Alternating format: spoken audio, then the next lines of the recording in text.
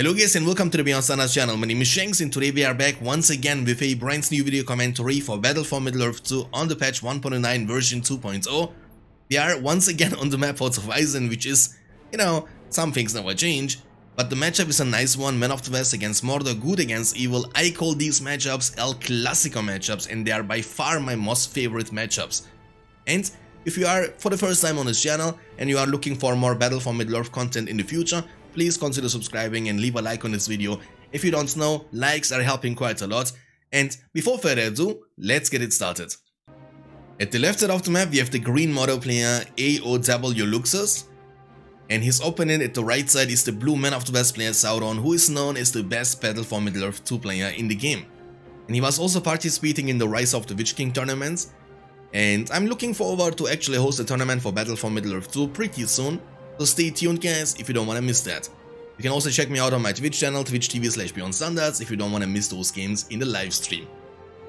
A 2 farm start from the Man of the West player. And actually he was using the human wood in order to scout the area, but the Mordor player was covering the human wood with his own tainted land. After starting 2 slaughterhouses, he's gonna build up 2 orc pits now. Alright, and this is something you will see much more often in Battle for Middle-earth 2, unlike in Rise of the Witch King, because as mentioned several times, uh, unlike in Rise of the Witch King, if you pick a random faction in BFME 2, your opponent won't get the chance to see your faction in the loading screen. That's why we will see many many times players actually going for the scouting ability from the spellbook, just to be able to see the enemy faction, which is gonna increase your reaction time and everything else. Alright, so we're gonna have some orcs, you know, following up very very soon. Um, they cost even less in BFME 2 than in Rise of the Witch King. In Rise of the Witch King they cost 80 each. And they have also the horde bonus here, which means when gathered in numbers of at least 70 or more, they're gonna get 33% damage and 20% more movement speed, which is quite nice. On the other side, we see two farms into the archer range and the stable. He was also building a third farm, by the way, and even a farm number 4. And yeah, uh, I'm pretty sure that soldiers or archers or even Gondor Knights, they're gonna have no trouble dealing with these orcs, but, you know, Sometimes quantity goes over quality, sometimes, and in this case the Mordor player will have a lot of orcs the Man of the West player has to deal with, and ideally he wanna protect himself. Alrighty, so the Man of the West player is actually not going for anything, you know, like soldiers, he's gonna go for some defensive units, in this case those Gondor archers, and gonna use those, you know, Gondor knights for offensive purposes in order to take down the enemy slaughterhouses and hurt his economy. That's the goal by the way. You have some orc archers also for defense. The reason why they are glowing is obviously because they are standing on the tainted land, which is gonna increase uh, their armor by 35%. Orcs are moving through the bottom right side of the map and one of them is moving through the middle. So the Gondor player, or in this case the Man of the West player Sauron, has to deal with these orcs first. I like the way that the Mordor player is using different types of pathways, so he's actually moving from all the three possible pathways on the map for Isen 2. You might be able to see this farm, let me check if he's able to see that, yes he's able to see that and he's gonna be now able to take it down. Because Gondor Knights are not in position.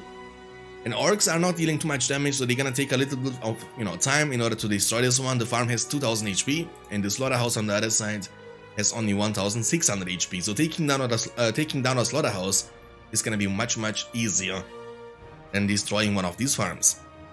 But this farm is gonna be definitely taken down. And also this one is getting attacked at the same time. The archers are not there in time, they have to move all the way around I'm assuming, yeah.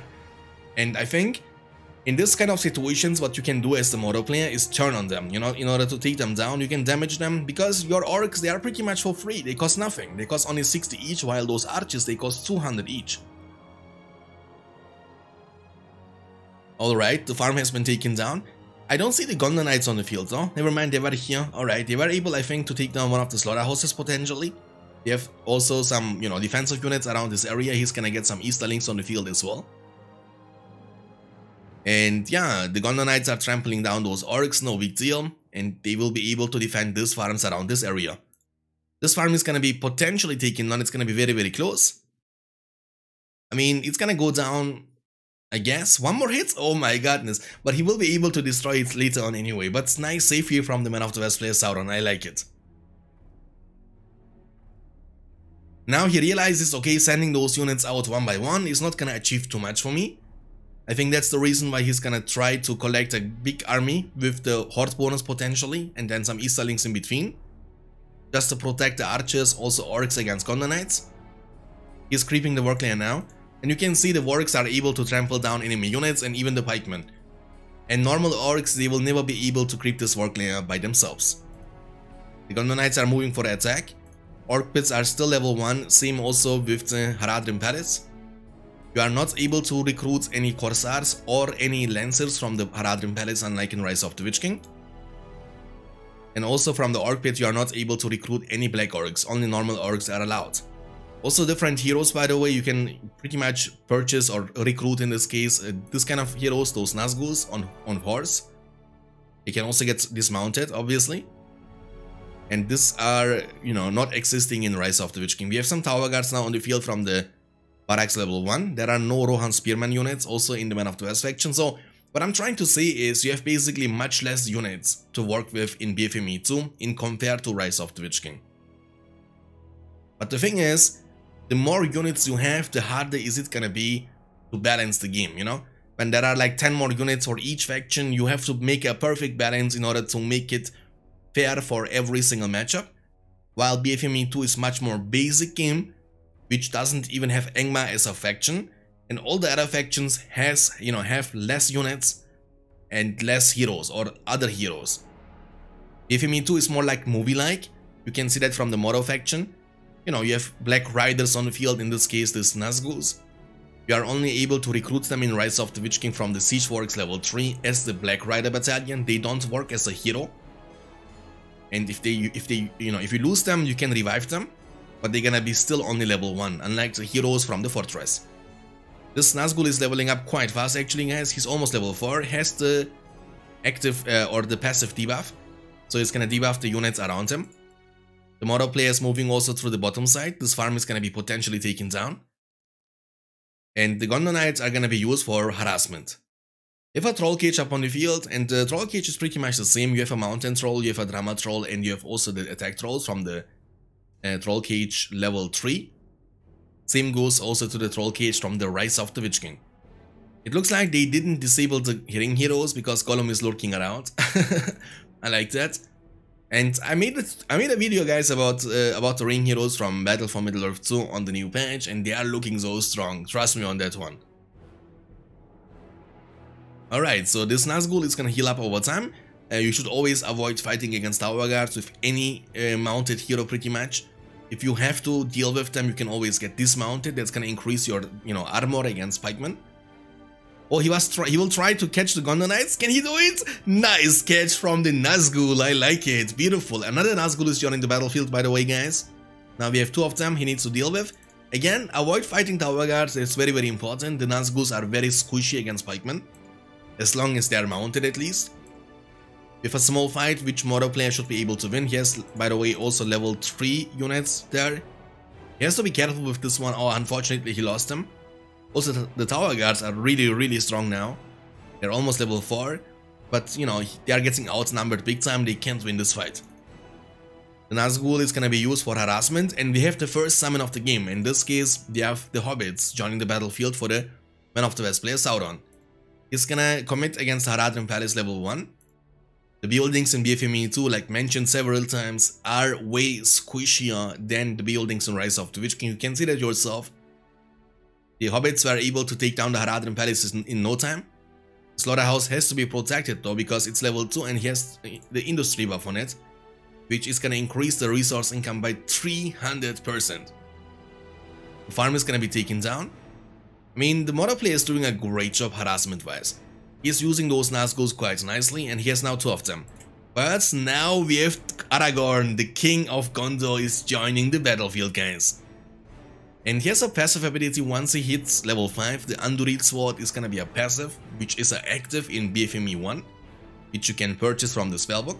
I mean, it's also a, a, passive, but you have to purchase that, and it's much more powerful than the stats you're gaining from Aragorn here in BFME 2 you get only 10% increased damage, but also 7% increased uh, movement speed, which is gonna be way less impactful than the Anduril effect you get in BFME 1. in BFME 1 your Aragorn is hitting like an absolute truck when you have your Anduril purchase.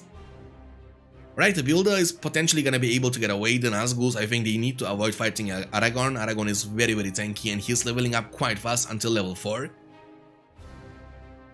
Alright, and this Nazgul is also level 3 guys, so they have both the debuff, which by the way is gonna, you know, make the enemy unit suffer minus 25% armor and minus 25% damage.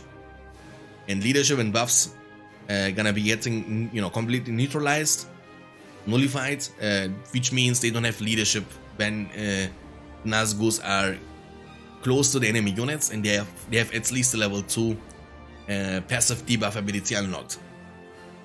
Alright, the troll is smashing down those Knights, no big deal. Why they are glowing though? Does he have you? Did he use Rallying Call? Yes he did, okay. Uh, Rallying Call has been used. It does not give you any armor by the way. So you're still gonna die quite fast. It's gonna only increase your damage output and also your combat experience. Aragorn doesn't care. Aragorn is just walking in like, who's next, you know? He's very very powerful, we know that. But he has to kinda avoid fighting a big army like this if he has nothing to back up. I mean, he has Athelas, right? And he has also Blademaster, which is gonna make him not only more tanky, but also increase his damage output. And in the worst case scenario, you can also go for the heal from your spellbook, from the power points. But he's actually taking way too much unnecessary damage. He has to use Athelas now. And he has to be careful. I mean, he can also use Blademaster. I'm actually surprised why he didn't use it at the first place. He's gonna use it now. That's gonna make him tankier.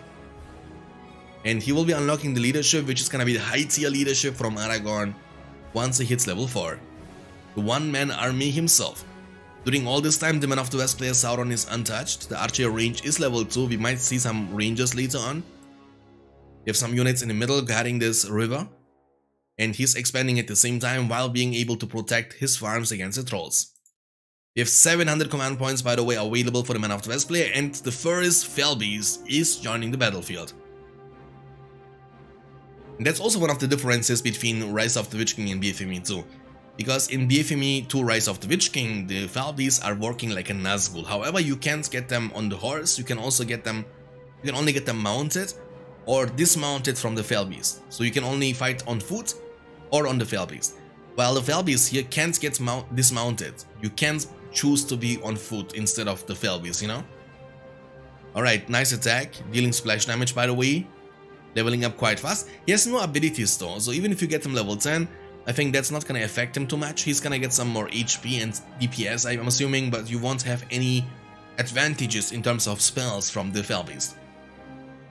He has the Screech ability with level 1 anyway, so um, it's always nice to have some extra HP on your heroes and DPS, but the main reason why you should try to invest your time into leveling them up is obviously to unlock more stronger powers from the hero. Aragorn was able to get away, he's level 4 now, has leadership unlocked. Gondor Knights, one of them was also able to get away. The Man of the West player is kinda in a really bad spot right now. Luckily he was able to expand around the bottom side, which is gonna give him still a, quite a lot of, uh, you know, resource income, 750 command points still. On the other side, the Mordor player has 975 command points collected. And he is getting yet another hero on the field and his name is Mouth of Sauron. Going now for Tavern next, which is a building that's which not which does not exist in uh, Rise of the Witch King. Uh, you can recruit those Corsairs in Rise of the Witch King from your Haradrim Palace instead. He has also Barrage unlocked guys after Industry. He's gonna use it though. Is he gonna use it on the units? Or on the buildings? I'm not sure. He's gonna use it on the units. And also being able to damage the enemy buildings. Theoden has to be getting away. He gives you leadership with level 1. Uh, which um, no, with level 2 actually, I take it back. He gives you leadership with level 1 in Rise of the Witch King. The Nazgul has to be careful, don't underestimate Aragorn. Aragorn is very very strong and that's the reason why you should not underestimate him. The Felbeast is not gonna commit against Aragorn which makes sense because Aragorn even though if, he, if he's low like that, he is still quite tanky. The Well is gonna help them to sustain over time. And Theoden by the way is also now level 3, has unlocked the leadership which is gonna be and only damage and combat experience. Unlike from Aragorn, Aragorn has also damage and combat experience, but also armor, which is very, very efficient. Okay, so Mouth of Sauron is level almost 3. The Nazgul, which was level 5, was able to survive. One of the Nazguls has been taken down. Theoden is going for a trample on those Orc Archers. Has to be careful though, he's kinda alone around this side. The Corsairs are doing a great job. And from the tavern you are only able to recruit as units the Corsairs, but it works also like a siege works in you know in Rise of the Witch King in which you can purchase all the upgrades you need.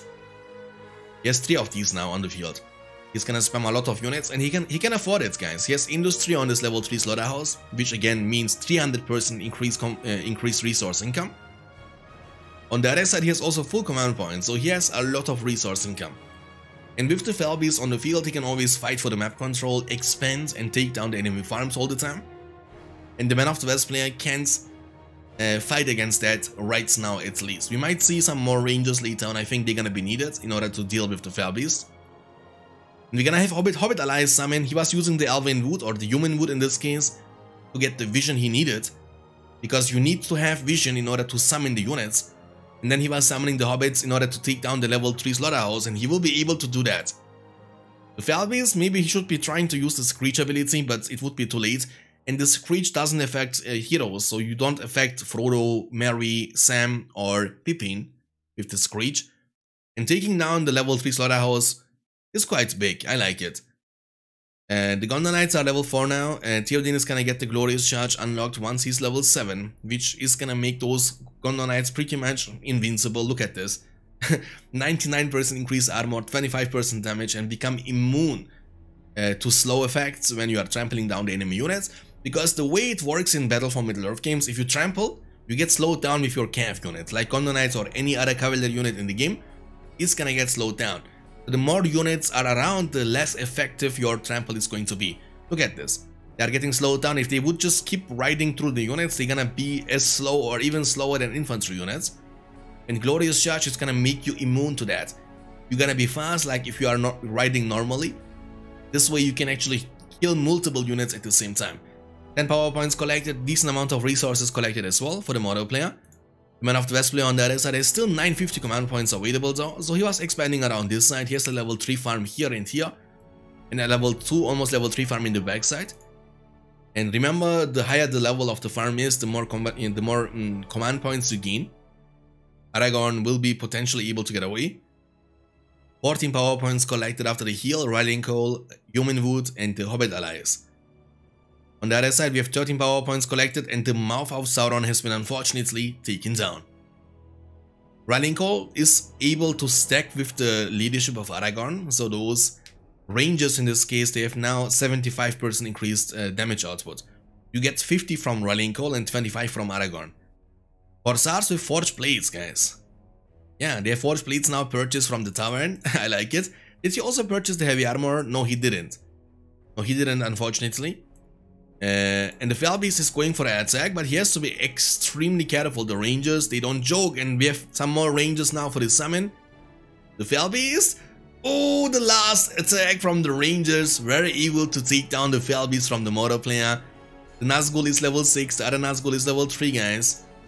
Aragorn is taking some damage, but I, I think he's fine. He was also using the Elendil, and the Nazguls are running for their lives. In the worst case, you can also get mounted with them in order to get away faster. The level uh, 6 Nazgul has also unlocked the Morgul Blades, which can be used against enemy units or heroes. Which is like a curse, it's gonna cause the enemy unit or hero take damage over time. And once they die, I think they're gonna turn into a wight, which you can then control afterwards, as the Mordor player. The Rangers, um, they don't have the long shot, uh, from the summon at least. The Rangers uh, from the normal archer range, they have the long shot if I'm not mistaken.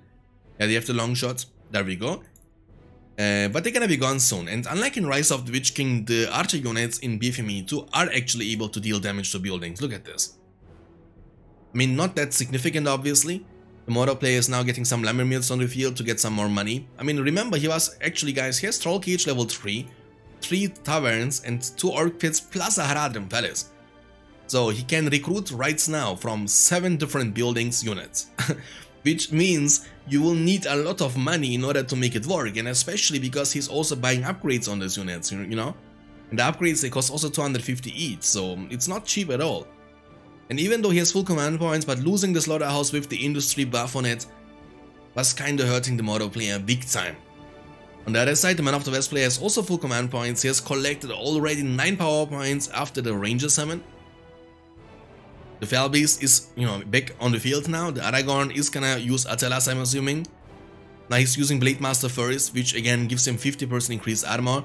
He's gonna use the heal, and in the worst case scenario he has also the heal from Aragorn himself, the Athelas. Theoden is level 6 already, it's actually getting scary for the Mordor player because Theoden is only one level away from getting the Glorious Charge unlocked. 12 power points collected for the for the Man of the West player, almost 13 power points collected, Screech is being used now. Aragorn should be fine I'm assuming. Even though there are no Rangers to back them up, he needs to move with the ranges now and that's gonna be also the case.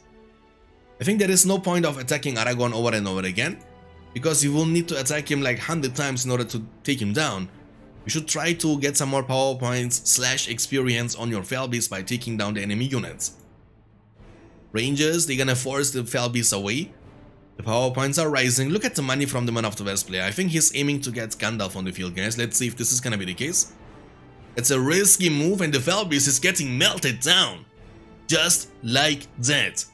Aragorn doesn't care, he's going in and the long shot was hitting like a truck but look who is here his name is Balrog the big boy is coming the man of the west player was able to react fast enough he was able to save a lot of his a lot of his units if he doesn't move away guys he would be losing every single unit around this area if attack troll by the way on the field against Aragorn let's see if he can take him down on a one-on-one -on -one. remember Aragorn has no blade master no Athelas and no heal available he's running for his life but I'm assuming the troll is faster than Aragorn it's gonna be nice. I think Aragorn is gonna take him down though. Yeah, Aragorn is very very strong during all this time. Balrog is setting up for a beautiful breath fire. Should be trying to take down the archer range and the marketplace at the same time if he can. Breath fire is gonna be used now. It's gonna damage the buildings big time, but it's not able to one-shot them though. Uh, Ignite has to be used always, which is gonna double the damage and give you also more armor. Okay, the marketplace is down, the level 3 farm has been taken down and the archer range is gonna go down as well. I mean, he has still the stable up on the field and the double barrack, so he's not done yet. Human wood is gonna be used once again, I think, for the Hobbit allies. That's gonna be, I think, you know, pretty much for the third or fourth time now he's doing it. We are getting some more trolls on the field. The attack trolls from the level 3 troll cage, they cost really, they are very expensive guys, they cost 1100 each. But you have to dominate troll with level 1 available, uh, which you know which gives you the chance to take the control of the enemy targeted troll. I don't think I don't know if you can also use it against the troll at the bottom left side. In Rise of the Witch King you can, and look at this guys, Gandalf the Grey is joining the battlefield after Balrog is gone. Just like in the movie. Unfortunately he's only Grey. Once he's level 5 he's gonna turn in automatically into Gandalf the White. And leveling up for heroes in BFM uh, is pretty fast actually until they hit level 4 at least. And with level 4 all alone you will be able to get mounted, even with level 3 actually. And with level 2 you unlock also the lightning sword. Uh, for now you have only the wizard blast and the shield bubble, you can activate manually, unlike in BFME 1. And in Rise of the Witch King you don't see a button like this, you have to know it. You know, you have to know that you have to press U on your keyboard in order to activate the shield bubble for Gandalf. Power points are rising though. And look at this level guys, he was level 1 a second ago, now he's already level 3. He can get now mounted on his Shadowfax. Aragorn doesn't care, he is fighting against the Nazgûls and taking them down one by one. An Earthquake ability is gonna be unlocked now. You gotta keep an eye on this area, he's gonna use it potentially right there. He's actually using it on top of the enemy units, that's interesting. And the units are not taking that much damage. I think no one of them died actually, guys. Maybe he wanted to save his Aragorn. Aragorn is safe though. He has Athelas still available. He's level 9 as well. Lightning Sword is gonna be used now from Gandalf. On the Nazgul, he was able to catch him. Nice one. And Nazgul, uh, Gandalf is already level 4 now. While Aragorn is level 9, he's only one level away from summoning the Oathbreakers, the Army of the Dead. Which can take down the enemy units in no time. He's gonna build yet another archer range now. He was losing the first one what he had, remember, against the against the Balrog. I believe that Earthquake was not that impactful. He should be using it against the buildings in my opinion. Uh, Troll Cage level 3, 3 taverns, 2 orc pits and Haradrim palace is still only level 1. I mean, we might see some Haradrim archers later on, just to be able to deal with the rangers or even the heroes from the Man of the West player. But for now, he's actually getting a lot of Corsairs on the field from Triple Tavern. So he's spamming them all the time. They cost also, they are very expensive actually guys. They cost 340 each. And yeah, they cost even a little bit less than Easterlings. Okay, I take it back. Theoden is level 7, has Glorious Charge unlocked, but in order to use it, you have to get mounted. And he has also gone the Knights around to use it on them. He might also recruit some Rohirrim later on from the uh, from the stable level 2. Yeah, he can also use the King's Favor over and over again to give experience to the selected targets. Gandalf is on his horse now, he's almost level 5, has Wizard Blast and Lightning Sword both on cooldown.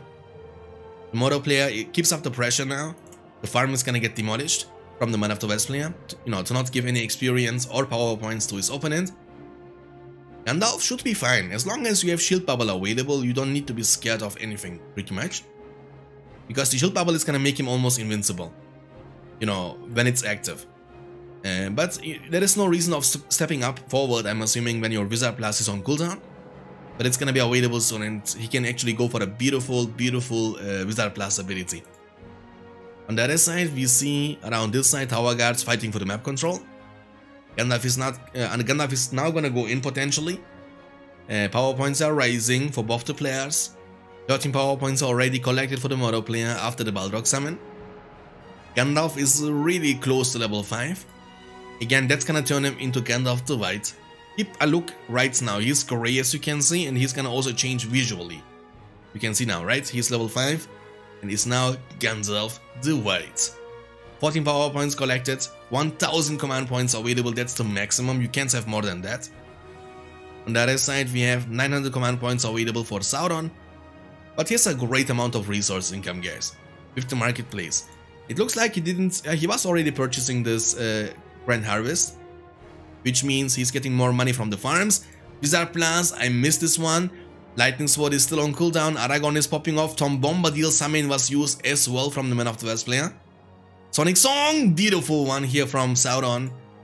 Sa his name is Sauron, but he's playing the Man of the West player in this story. I don't know what to say. Gandalf has to be careful, he has Shield Bubble, which is gonna be used now. That's gonna make Gandalf quite tanky. Uh, yeah, I mean, he's pretty much, look at this, absorbs every kind of damage dealt, dealt to him. Like, what what else do you want to know? You know what I'm saying? Ranger Summon will be used now. That's gonna be, I think, enough to deal with this army of the Mordor player. I think the Mordor player is losing his heroes very, very easily. And having to invest so much money back into your heroes you just lost, you know, it's gonna hurt you big time. We couldn't see a big boy like Witch King for example yet from the from the Mordor player. He was only able to get a Mouth of Sauron, the Nazgûls and one Fel Beast on the field so far. I mean Gandalf can also go to the well, but it looks like the Man of the West player has no well up on the field anymore. So he's gonna just sit in the middle of the map to recover over time. Aragorn has Athelas. Yeah, he can also use it, use it on Gandalf to heal him up. Athelas doesn't only work on Aragorn himself, but also for the allied heroes around him. And also, Aragorn is almost level 10, guys. Like, he's gonna get level 10 after killing the Slaughterhouse, trust me on that one. And that's gonna be a massacre, actually, for Army of the Dead. Yeah, he's gonna level, he's level 10 now. And he's gonna say now, fight for me. Fight for me, Army of the Dead. And the Nazgul is back on the field, almost level 5. I mean, at this point of the game, Aragorn is definitely, definitely a one-man army, guys. Like, he can go in when everything is available, like Blade Master Athelas, Elendil and Army of the Dead. And he has heal in his kit, he has heal as a power point from the spellbook, so it's gonna be impossible for you to take him down when Blade Master is active, with this might sustain. The Fel Beasts are getting dismounted, which is smart, because they have to deal now with Tower Guards. One of them is level 5, one of them is level 5 as well now. And Gandalf is just recovering over time. And the Man of the West player now has the upper hand definitely with this strong heroes on the field. Theoden was not even using one-time glorious charges yet. I would love to see that in a situation like this. Because you can easily one-shot those... There we go. For death and glory. Let's go. Glorious Charge it is. Trample them down. It looks like you want to just commit against the Corsairs. Against the Tavern, I mean, I'm saying.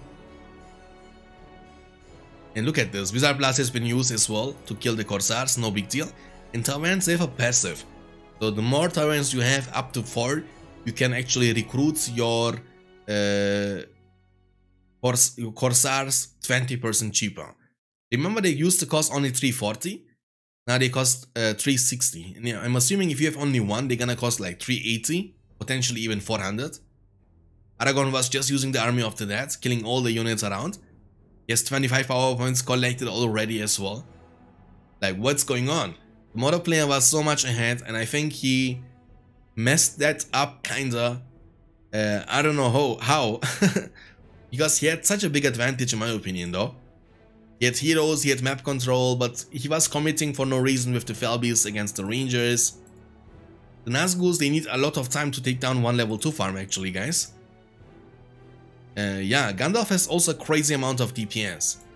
So, if you have nothing up with Gandalf, you can still 1v1 a Nazgul, no big deal, with your melee attacks, with your auto attacks. And you are one of the tankiest heroes, if not the tankiest with Aragorn, with Gandalf, if your shield bubble is up.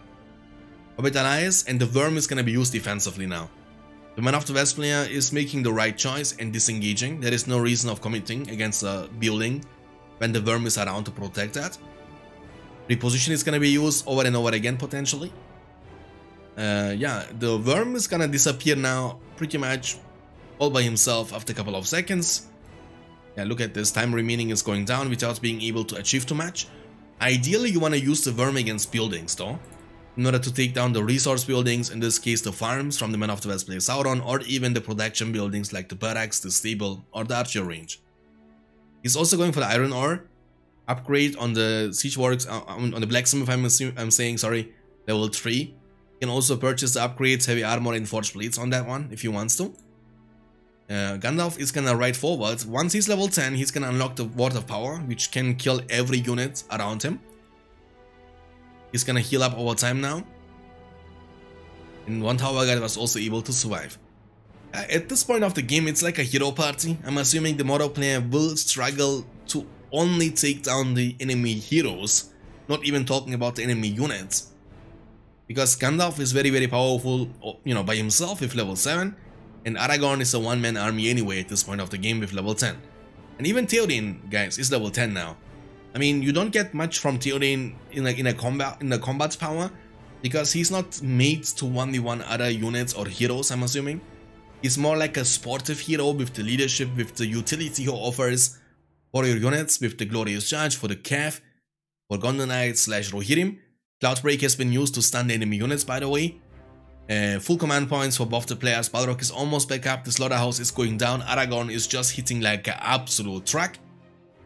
Also, the archers in the backside have the fighter upgrade purchase, which is going to increase their DPS against buildings. Look at the damage now from the rangers. Aragorn and Gandalf, they don't care, guys. Like, they don't care. But Aragorn might be in trouble, though. He's taking way too much damage from all the buildings and the towers from the fortress. Barricade has been used from the Mordor player defensively as well, but it's to be taken down in a second. And the Balrog is being used on top of the Gandalf, just why not? The shield bubble was not used from Gandalf, and he actually took like zero damage from the summon without the shield bubble. And I think Gandalf can actually 1v1 him though. However, he has only Istari Light available. Look at the damage, he should be using the shield bubble to kinda avoid the damage from the fire whip, I'm assuming. But you know, it's a win-win situation for the Man of the West player regardless.